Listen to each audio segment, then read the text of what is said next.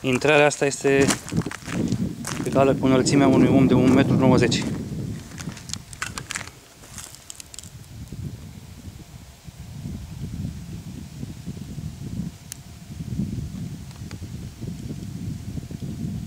Aici, la fel ca la turnul celălalt, sunt doar resturi care țineau scara.